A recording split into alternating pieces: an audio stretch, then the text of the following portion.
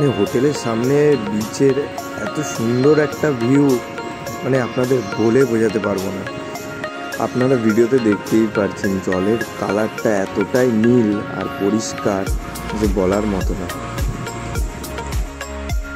good morning good morning from Havelock आज हम लोग जाएंगे एलिफेंट बीच एंड दूसरा है एक्टिविटी जो कि स्कूबा डाइविंग है यहाँ का फेमस है सबसे स्कूबा डाइविंग नहीं किया तो कुछ नहीं किया।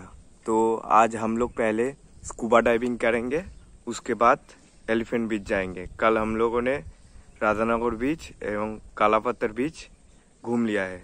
सो आज हम लोग जाएँगे, पहले जाएँगे स्कूबा डाइविंग करेंगे। उसके लिए दो तीन तीन घंटा लगता है, ट्रेनिंग सेशन लगता है forty eight forty minutes and बाकी पंद्रह मिनट आप लोगों को ले जाएगा डीप में। देन उसके बाद फ़ोटो वीडियो भी अपलोड दे आप लोगों को देगा।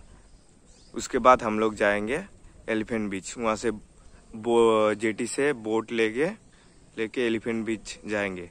एलिफेंट बीच में बेसिकली मैंने सुना है वहाँ पे स्नोर्कलिंग फ्री है। अगर फ्री है तो करूँगा। फ़िलहाल अभी के लिए ब्रेकफास्ट कर, करके निकलते हैं।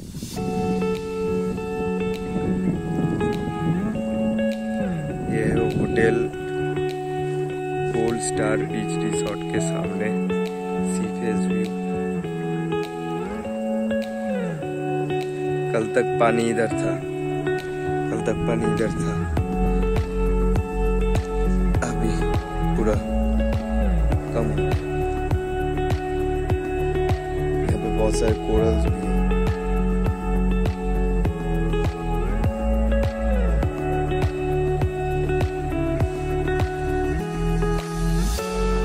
गाड़ी तो चले बस कूबा करते जाओ ना कि चलो